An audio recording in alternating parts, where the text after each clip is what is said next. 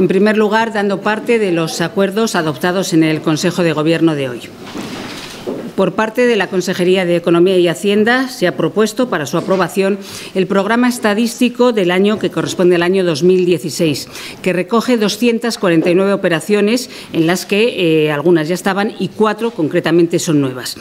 Como saben, este, este programa estadístico para 2016 se aprueba anualmente, pero también tiene una programación estratégica cada cuatro años eh, dentro de un plan mucho más amplio. Hay 23 áreas temáticas, pues para que se hagan una idea, economía, demografía, estado del bienestar, cultura, turismo, ciencia y tecnología, administraciones públicas, etcétera. Todos estos eh, datos pues, nos sirven no solamente para eh, evaluar las políticas en ese momento que se están realizando, sino también para proponer eh, las modificaciones que sean necesarias. Dentro de estos acuerdos, como les digo, de estas operaciones que se van a hacer, hay cuatro novedades que son las que quiero destacarle. Por primera vez se analizará el equipamiento de las bibliotecas escolares no universitarias de Castilla y León. También se pondrá en marcha una encuesta de consumos intermedios y, por otra parte, habrá dos de contenido medioambiental que son las declaraciones ambientales estratégicas y los informes ambientales estratégicos. El plan, eh, como saben, pues eh, tiene que ser aprobado a propuesta de la Consejería de Economía y Hacienda, pero tiene que ser aprobado por el eh, Consejo Asesor de de Economía y Hacienda, en este caso de, Estadística. Estamos hablando de 31 personas, entre las que están miembros representantes, altos cargos del Gobierno autónomo, de las Cortes, de la Federación Regional de Municipios, representantes sociales, sindicales, de cámaras de comercio, de organizaciones agrarias, etcétera. El segundo acuerdo ha sido la aprobación de 8 millones de euros que se destinarán a tratamientos selvícolas preventivos de incendios forestales.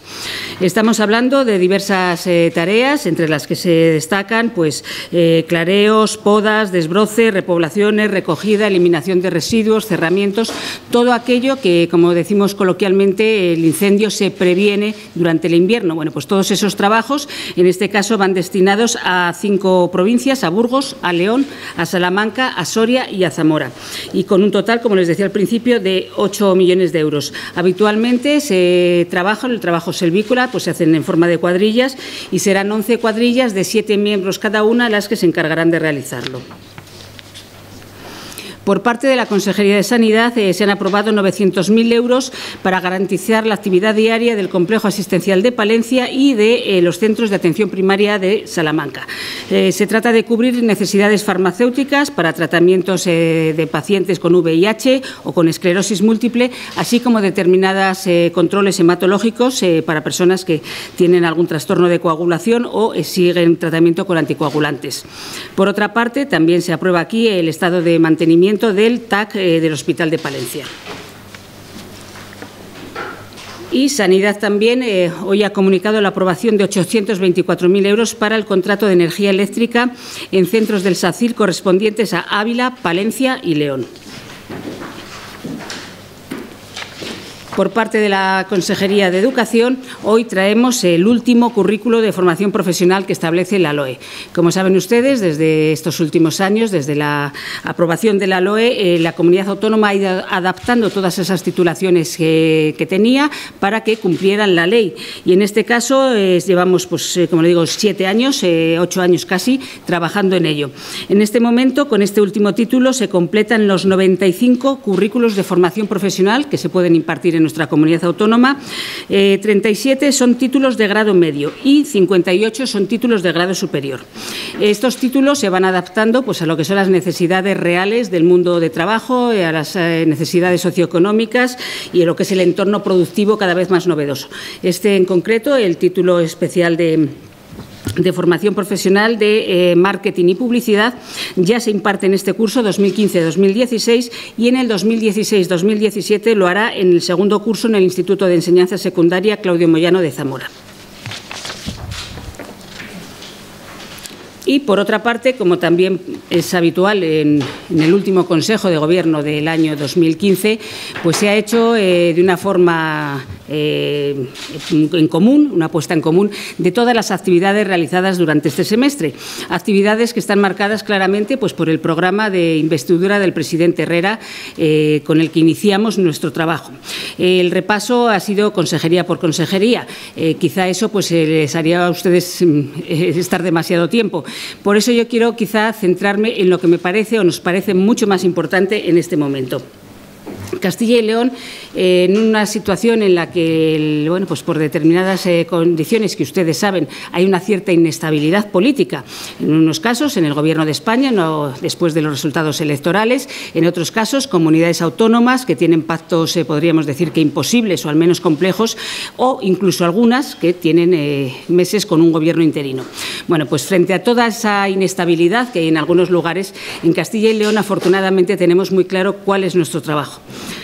Nuestro trabajo ha sido desde el primer día, desde la toma de posesión, trabajar por la gobernabilidad de esta comunidad autónoma y hacerlo como tiene que ser, con responsabilidad y dar estabilidad.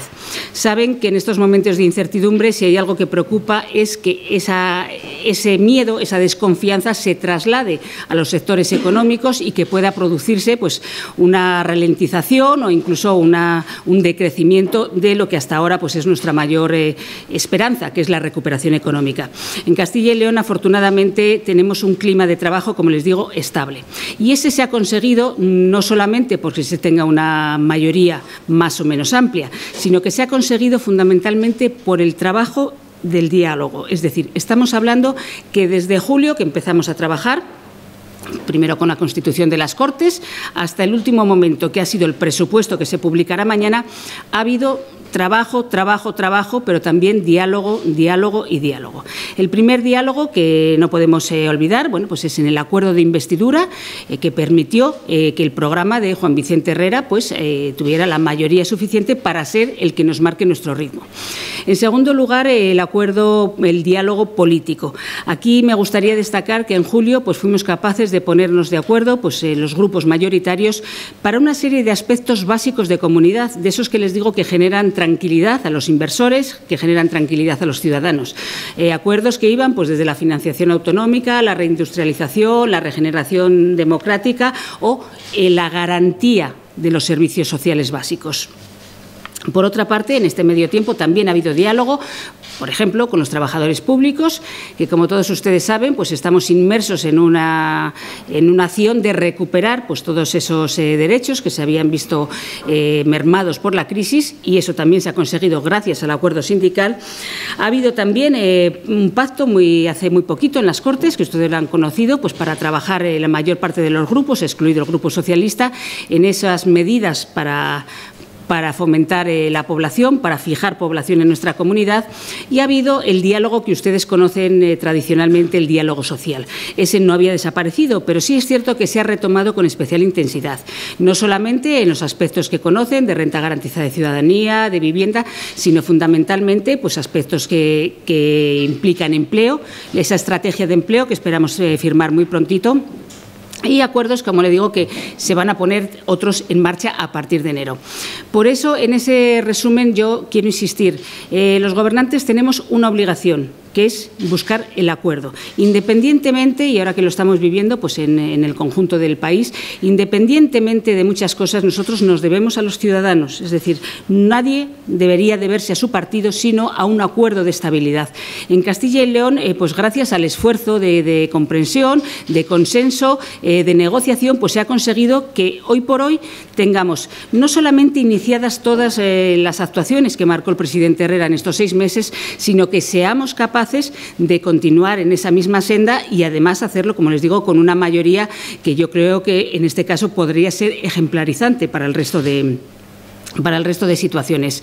Creo que es nuestra, como les digo, nuestra obligación, nadie nos tiene que dar las gracias por eso, pero sí que es cierto que es una oportunidad que una comunidad autónoma como la nuestra, que está en un momento pues, eh, en el que nuestros índices de desempleo son mejores que el conjunto de España, nuestra actividad económica sigue repuntando, el consumo interno ha aumentado, las exportaciones, que no perdamos esa línea, que no perdamos esa, esa marca de identidad, esa seguridad y fortaleza que tiene Castilla y León y que nos sirva, como les digo, para cumplir con lo que es nuestro, nuestro trabajo.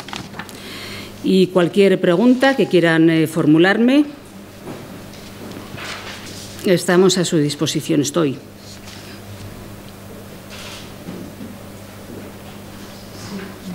Preguntar por el cese del director de políticas educativas, Fernando Sánchez Pascuala. Mm, no sé cuándo se va a publicar y si hay algún avance del por qué esta, de este cese y cuándo se conocerá su sustituto. Pues eh, la verdad es que lo desconozco porque hoy el consejero de Educación no ha planteado nada. Hemos estado trabajando en estas líneas que le comento de, de balance y de iniciar el trabajo para el próximo año 2016.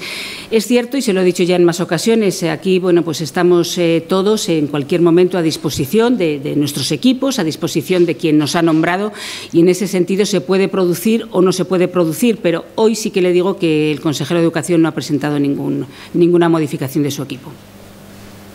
En este balance que han hecho por consejerías, en este repaso, no sé si hay alguna o algunas iniciativas eh, que no se han podido llevar a cabo, que no se han podido iniciar en este tiempo y que por algún motivo no, sí que le digo una cosa, precisamente quizá pues porque nuestro programa eh, pues está perfectamente ordenado, perfectamente diseñado desde el principio, todo lo que estaba previsto que se iniciara en este semestre, en el primer, segundo semestre del primer año de, de, la nueva legislatura, todo lo que estaba previsto en este momento se ha hecho. Es decir, hay aspectos que, imagínense, que nosotros hemos acordado pues, con los grupos políticos hablar de financiación autonómica es evidente que no ha tocado y no tocará hasta que no haya un nuevo gobierno. Pero salvo esas eh, cuestiones que son ajenas a la voluntad de este equipo de gobierno, se ha iniciado todo. Eh, creo que mm, el orden en estos casos es fundamental, es algo que tiene que ser, bueno, pues debería ser obligatorio en cualquier trabajo, pero en el nuestro mucho más, y se han cumplido todo. Además, teniendo en cuenta pues, que la actividad ordinaria no, no desaparece. Piensen que en un momento dado este verano por poner un ejemplo, pues ha sido un verano que en temas medioambientales, es decir, en incendios forestales, ha sido un verano duro, un verano muy complejo. Y bueno, pues eh, con las eh, dificultades inherentes a, lo que es la extinción de incendios, pues eh, podemos darnos por satisfechos, dentro de que siempre que se pierde masa forestal, pues hemos perdido algo irreparable a corto plazo. recuerden también pues, la cuota láctea, es decir, medidas que tuvimos que adoptar pues, para que los ganaderos de Castilla y León no fueran los perjudicados de una situación global, pero que a ellos les afectaba especialmente. En la PAC nos hemos adelantado para que esos pequeños agricultores sean los primeros que pueden cobrar. En la ordenación del territorio, hoy mismo o mañana finaliza pues, lo que es eh, esa exposición de las unidades básicas.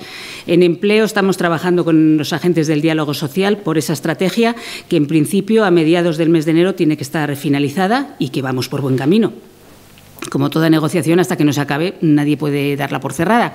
Pero bueno, el, principio es eh, el acuerdo, el trabajo conjunto. Eh, los servicios públicos, creo que en este momento saben que durante la anterior legislatura hubo una cuestión primordial, que era la sostenibilidad de los servicios públicos. Ese fue el gran esfuerzo.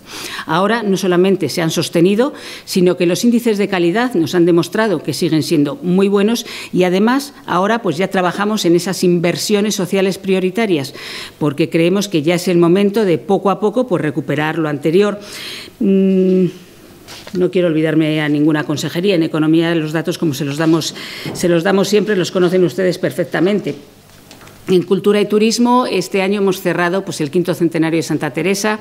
Ayer mismo conocimos que Castilla y León era la comunidad autónoma que más había crecido el turismo interior.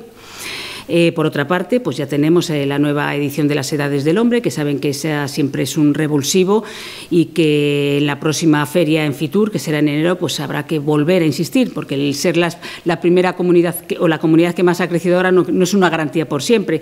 Es decir, en todos los sentidos creo que hemos trabajado pues con rigor, con seriedad, con una apuesta clara. Y bueno, pues eh, afortunadamente las circunstancias de estabilidad y yo creo que la política de, de, mano tendida, de llegar al acuerdo y al consenso, pues en Castilla y León da sus resultados. Yo quisiera saber si Yo quisiera saber si en este último consejo ha habido algún momento para la autocrítica, sobre todo en los asuntos abiertos de supuesta corrupción que se investigan a nivel judicial y, en fiscalía.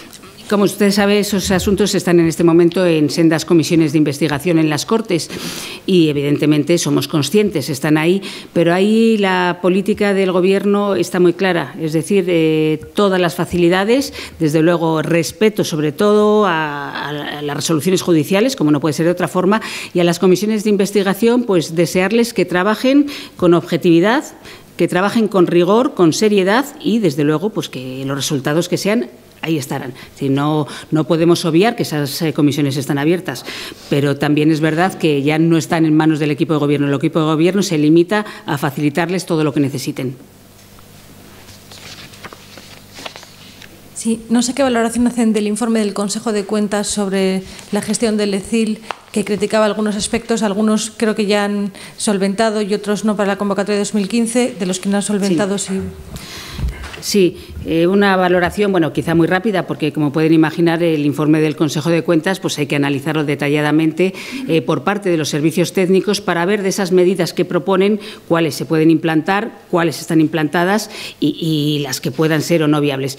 Hombre, hay que hacer una matización y es que eh, hoy la información ha salido y el titular, como buen titular, atrae, pero estamos hablando del informe de fiscalización del año 2013 que se refiere a convocatorias de los años anteriores. Es decir, que en ese tiempo lo que se está evaluando en ese informe del Consejo de Cuentas en muchos casos ya está superado por el tiempo.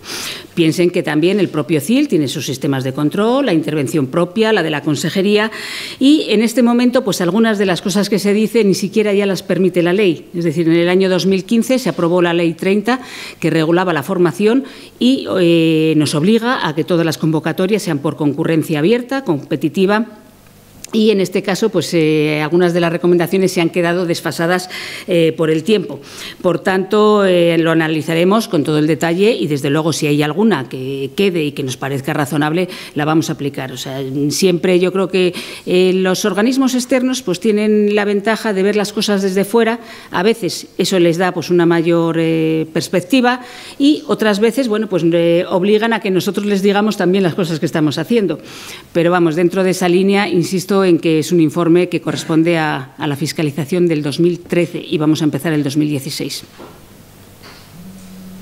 Sí, ayer nos hacíamos eco de un tuit eh, metido en su cuenta en relación a, a, Gómez de la Serna. ¿Se considera ya satisfecha con la decisión que se ha adoptado el hecho de eh, enviarle al grupo mixto sin que de momento haya ningún tipo de sanción aplicada a la actuación de Gómez de la Serna? Bueno, en este caso piensen que es un tema eh, estricto de partido, es decir, el partido tiene unos estatutos, tiene una serie de, fórmulas para, para bueno pues para enjuiciar quizá no sea el término pero bueno para analizar estos casos y proponer sanciones o no sanciones. A mí esta primera decisión que ha tomado pues el comité de derechos y garantías que es el no permitirle formar parte del grupo parlamentario pues me parece impecable Eh, si me siento satisfecha, yo creo que no se tenía que haber llegado a esta situación. Yo creo que hay unos momentos en los que, independientemente de prejuzgar, que no va a ser mi tarea, ni ahora ni nunca, eh, pues ha habido una serie de informaciones que no se han desmentido, que por lo menos eh, en cierta medida mmm, nos han ido eh, nos han ido sorprendiendo o incluso le diría que avasallando a, todos los que militamos en este partido y eh, pues la decisión que se ha tomado de apartarlo pues me parece correcta. Pero insisto creo que la persona tenía que haber tomado pues la decisión quizá mucho antes. Se habrían evitado daños no al partido sino a la política en general Insisto mucho siempre que lo digo, pero mire, la regeneración en política pasa por la regeneración, la democracia interna, la corrupción cero o la tolerancia cero a la corrupción en todos los partidos, en ninguno.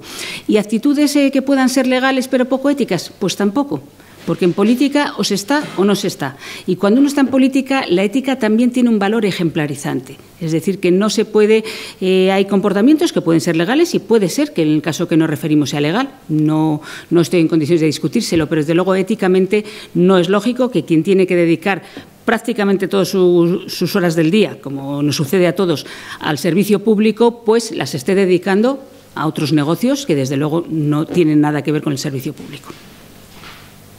Dice que hay informaciones que no se han desmentido, no sé si se refiere al propio Sí, me refiero a que hemos leído todos en los medios de comunicación y no hemos encontrado una respuesta por parte de, de, esta persona y quiero pensar que eso es lo que ha valorado también el Comité de Derechos y Garantías del partido pero insisto que creo no es ni la explicación, creo que en la vida pues eh, todos formamos parte de, una organización y cuando la propia organización que nos ha eh, designado, ofrecido un puesto o pedido nuestro trabajo es la que nos pide que nos retiremos, qué menos que ser leales a esa propia organización, máxime a lo que es el conjunto de la política, que en estos casos estas eh, conductas, como le digo, pues no favorecen absolutamente a nadie, todo lo contrario, el descrédito de toda la clase política y por ahí tampoco podemos dejarnos llevar.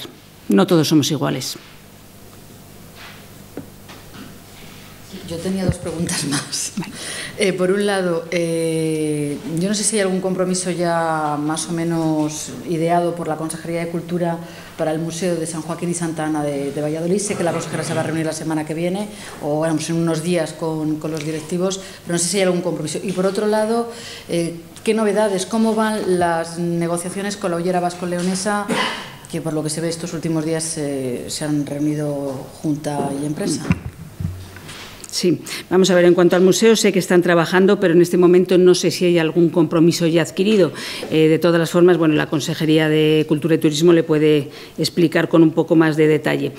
Eh, en cuanto a la situación de la hollera vasco-leonesa, que en este momento, bueno, la preocupación es todo el sector minero, pero concretamente esta más, eh, ha habido unas reuniones en las que ha estado presente la consejera de Economía y Hacienda, reuniones que han ido en varias líneas. Eh, algunas, la defensa, como la que hemos hecho hasta ahora, de medidas que promuevan el consumo de carbono autóctono, que esas se siguen manteniendo.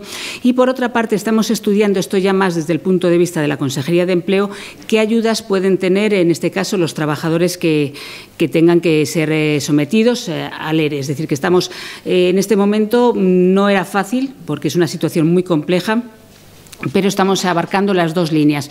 Eh, no sé cuándo está prevista la próxima reunión, ya para entonces le puedo dar eh, con más detalle.